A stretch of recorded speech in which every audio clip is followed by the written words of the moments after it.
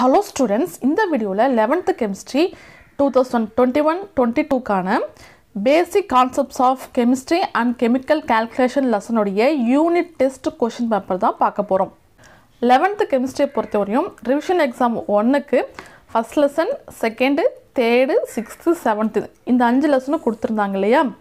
Revision exam வந்து nineteenth ஜான்வரிலேருந்து ஆரம்பிச்சிருக்கணும். ஆனால் கோவிட் சுச்சுவேஷன் காரணமாக லீவ் விட்டுருக்காங்க. கோவிட் சுச்சுவேஷன் கண்ட்ரோல் வந்த பின்னாடி மறுபடியும் கண்டிப்பாக ஸ்கூல் ஓப்பன் பண்ணுவாங்க. அப்போ கண்டிப்பாக ரிவிஷன் எக்ஸாம் ஒன் டூ எல்லாம் வைப்பாங்க இல்லையா? ஸோ இந்த லீவில் வந்து நிறையா டைம் கிடைக்கும் இல்லையா? ஸோ அந்த டைமை யூஸ் பண்ணி நீங்கள் படிக்காத லெசன்ஸு தெரியாத லெசன்ஸ் எல்லாமே வந்து நல்லா படித்து வச்சுக்கோங்க.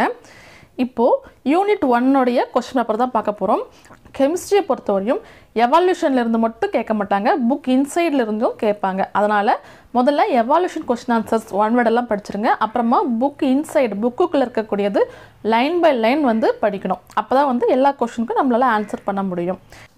இந்த கொஷின் பேப்பர் வந்து உங்களுக்கு ஒரு செல்ஃப் எவால்யூஷன் மாதிரி தான் அதாவது இந்த லெசன் ஃபுல்லாக படிச்சிடுறீங்க. படித்து முடிச்சுட்டு நீங்கள் எந்த அளவுக்கு படிச்சிருக்கீங்க? படிச்சதெல்லாம் ஞாபகம் இருக்கா? அப்படிங்கிறத செக் பண்ணிக்கிறதுக்காக தான் இந்த யூனிட் டெஸ்ட் மற்றபடி இந்த கொஷின் பேப்பரில் இருக்கிறது தான் கேட்பாங்க அப்படின்னு சொல்ல முடியாது. இந்த கொஷின் பேப்பர் மொத்தம் வந்து தேர்ட்டி ஃபைவ் மார்க்ஸ் கொடுத்துருக்கேன். பார்ட் ஒன் வந்து ஒன் வேடாக இருக்கும். ஒன் மார்க் கொஷின் அஞ்சு இருக்கும். பார்ட் டூ வந்து டூ மார்க்கு நாலு கொஷின் இருக்கும். பார்ட் த்ரீ வந்து த்ரீ மார்க்கு அதுலேயும் நாலு கொஷின் இருக்குது பார்ட் ஃபோர் வந்து ஃபைவ் மார்க்கு அதில் ரெண்டு கொஷின் கொடுத்துருக்கேன். இதில் எதுவுமே சாய்ஸ் கொடுக்கல. நீங்கள் வந்து இந்த லெசன் ஃபுல்லாக படிச்சுட்டு இந்த கொஷின் பேப்பரை வந்து எழுதி பாருங்கள் நீங்களே கரெக்ஷன் பண்ணி பாருங்கள் ஒன் வேர்டுக்கான ஆன்சர் வேணால் நம்ம லாஸ்ட்டில் கொடுத்துருக்கேன். அதை பார்த்து செக் பண்ணிக்கோங்க.